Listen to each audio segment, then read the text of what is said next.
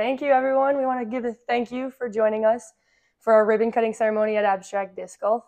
Abstract Disc Golf is a new sports retail store. We offer disc golf bags, discs, gears, and accessories, whatever you would need for disc golf. We also feature a simulator bay that does disc golf training um, as well as traditional golf play. You can book online at abstractdiscgolf.com. Thank you for being here today. We thank the Ankeny Chamber and uh, we look forward to seeing you at Abstract Disc Golf. Oh. The scissors open and through the ribbon on the count of three. We'll cut. One, two, three.